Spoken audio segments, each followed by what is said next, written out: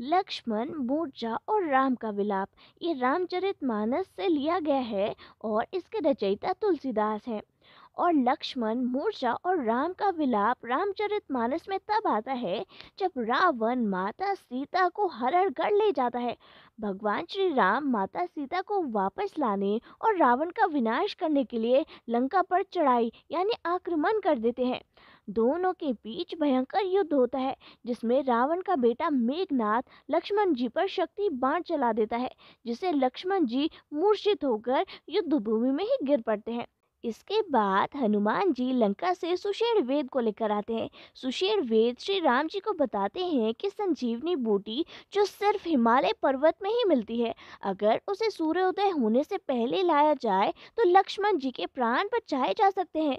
हनुमान जी पवन गति से हिमालय पर्वत की ओर प्रस्थान करते हैं, मगर हिमालय पहुंचकर वो संजीवनी बूटी को पहचान नहीं पाते, इसलिए वो पूरी पहाड़ को ही उठाकर लंका वापस ले आते हैं। मगर रास्ते में अयोध्या से गुजरते वक्त भरत जी उन्हें देख लेते हैं। हनुमान जी के विशाल काय शरीर को देखकर भरत जी उन्हें राक्षस समझकर उन पर बाढ़ चला देते हैं, जिससे हनुमान जी राम का नाम लेते हुए धरती पर गिर पड़ते हैं। राम का नाम सुनकर जब भरत जी उनके पास पहुँचते हैं, तब उन्हें सारी बात पता चलती है। भरत जी को बड़ा पश्चाताप होता है। हनुमान जी सूर्योदय से पहले लंका पहुँचने की बात कहकर भरत जी से चलने की आज्ञा मानते हैं। उसके बाद का घटनाक्रम इस कविता के ज़रिए से बताया गया है। तो चलिए पढ़ते हैं। पहला दोहे का भावार्थ। हनुमान जी भरत जी से कहते हैं कि, हे प्रभु, मैं आपके प्रताप, यश, मान, सम्मान को अपने हृदय में धारण करता हूँ। अब आप मुझे जाने की अनुमति दें, क्योंकि लक्ष्मण जी के प्राण संकट में है और मुझे सूर्योदय से पहले लंका पहुँचना है। ऐसा कहकर हनुमान जी ने भरत जी के चरण स्पर्श किए और उनका आशीर्वाद देकर वो वहाँ से लंका की ओर चल पड़े। हनुमान जी रास्ते में भरत जी के बारे में सोच रहे थे कि भरत जी की भुजाओं में बहुत अधिक बल है, बहुत ताकत है।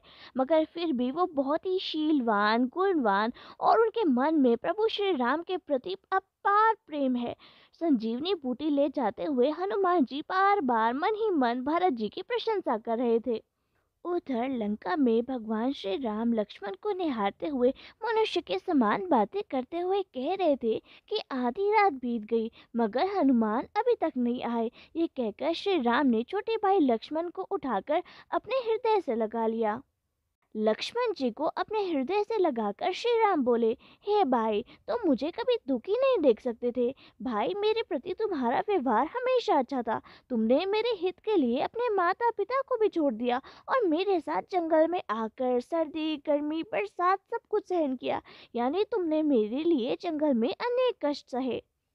श्री राम कहते हैं कि, हे भाई, तुम्हारा वो प्रेम अब कहाँ गया?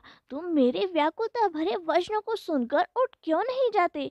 यदि मैं जानता कि वन में मेरा भाई मुझसे बिछड़ जाएगा तो मैं पिता की बात कभी नहीं मानता। श्री राम आगे कहते हैं कि पुत्र, धन, स्त्री, घर और परिवार, ये सब इस संसार में बार बार मिल सकते हैं, मगर इस संसार में सगा भाई दोबारा नहीं मिल सकता। हे भाई, तुम उठ जाओ। श्री राम को सगा भाई इसलिए दोबारा नहीं मिल सकता क्योंकि उनके पिता की मृत्यु हो चुकी है।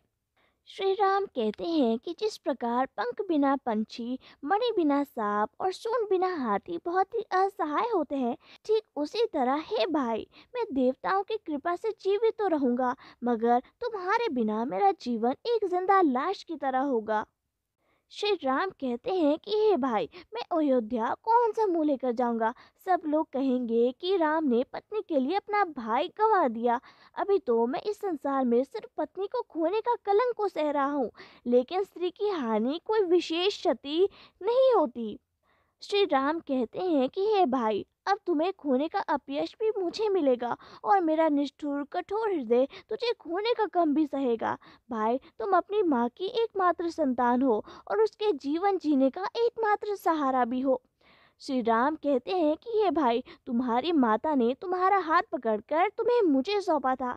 ये सोचकर कि सब कुछ अच्छा होगा, मेरे हित में होगा। अब मैं अयोध्या जाकर तुम्हारी माता को क्या उत्तर दूँगा? हे भाई, तुम एक बार उठकर मुझे ये सब कुछ सिखा दो। दुनिया की सभी चिंताओं का नाश करने वाले भगवान श्री राम बहुत प्रकार से सोच रहे हैं। उनके कमल की पंखुड़ी के समान नेत्रों से आँसू बह रहे हैं।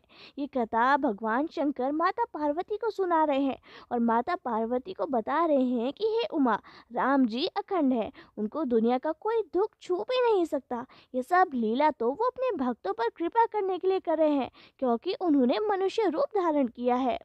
प्रभु श्री राम के व्याकुल वचनों को सुनकर वानर और भालू का समूह भी बेचैन और व्याकुल हो गया।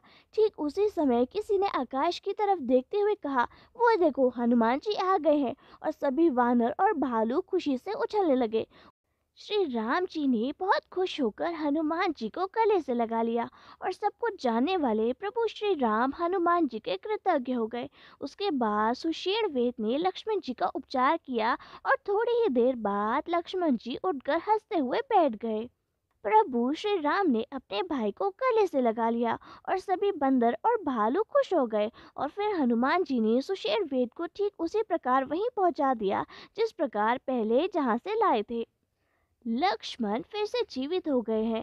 ये बात जब रावण ने सुनी तो उसे बहुत दुख हुआ और उसने बार बार अपना सिर पीट लिया। रावण बड़ा परेशान होकर अपने छोटे भाई कुंभकर्ण के पास गया और उसने अनेक प्रकार से उसे जगाने की कोशिश की, क्योंकि कुंभकर्ण छः महीने सोता था और छः महीने जागता था और उस वक्त वो सोया हुआ था। कुंभकर्ण जाग उठा और जाग उठने के बाद वो कैसा दिखाई देता था? जैसे मानो काल ही शरीर धारण करके बैठा हो। कुंभकर्ण ने रावण से पूछा, बताओ भाई, तुम्हारा मुँह क्यों सूख रहा है? तभी अभिमानी रावण ने सीता हरण से लेकर अब तक घटित सारी घटनाएँ कुंभकर्ण को बताई। उसने कुंभकर्ण को ये भी बताया कि उन वानरों ने सारे राक्षसों को मार डाला है और सारे बड़े बड़े योद्धाओं का भी संहार कर दिया है। दुर्मुख देवताओं का शत्रु सुररिपु मनुष्य को खाने वाला मनोज आहारी, भारी शरीर वाला योद्धा अतिकाय, अकंपन और मनोहर, सभी वीर रणभूमि में मारे गए हैं। रावण की बात सुनकर कुंभकर्ण दुखी होकर बोला, हे मूर्ख जगत माता सीता का हरण कर तुम अपना कल्याण चाहते हो? ये संभव ही नहीं है।